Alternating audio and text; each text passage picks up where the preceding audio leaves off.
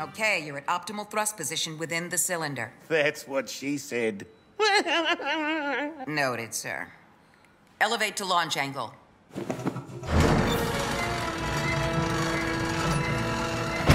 You'll pass through the ejection port at hypersonic speed, cruise high above the Gulf of Mexico, then descend for max G-force capture aboard our drone ship Titanic Ego. Don't lecture me. I went to Stanford for two days. Just shoot me out the hole. Initiate launch sequence. up, up, and up,